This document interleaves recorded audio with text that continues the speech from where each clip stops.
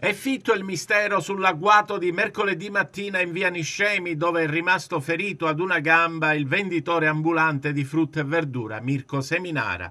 L'uomo che si trova ricoverato all'ospedale Sant'Elia di Caltanissetta sarebbe stato sentito dai carabinieri ed avrebbe riferito di non aver visto in faccia la persona che gli ha sparato.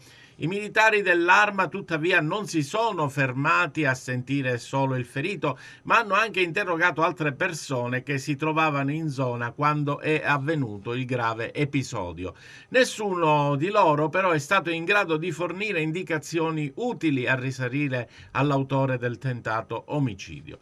Nelle prossime ore altro giro di interrogatori nel tentativo di trovare indizi utili per le indagini. Un contributo importante potrebbe arrivare dalle telecamere della videosorveglianza installate nella zona che potrebbero dare l'input decisivo ai carabinieri ed un volto all'uomo che ha sparato a Mirko Seminara.